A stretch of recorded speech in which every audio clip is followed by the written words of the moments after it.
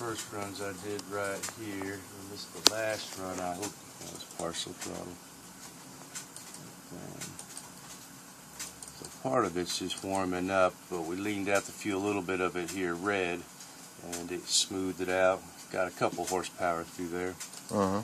And then that was the partial throttle where it went down ridge. And this last one, I did a partial throttle. Now it's red, just a below 14 but above 13, and just right through there on the cruiser. And then right there, I opened the throttle.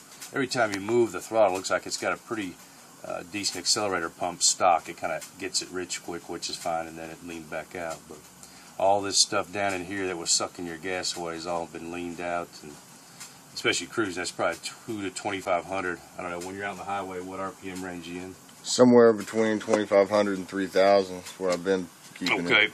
Well, it was. I, did, I only ran up to about twenty seven before, and that was just a quick run through. But if anything, it was nice and fat in that area. Right.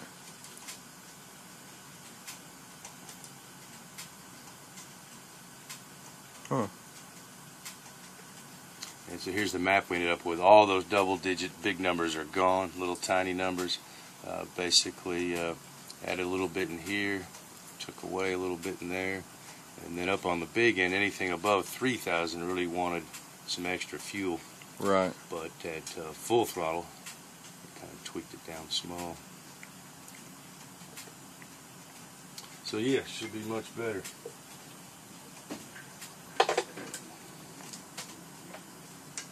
Cool. Am I going to get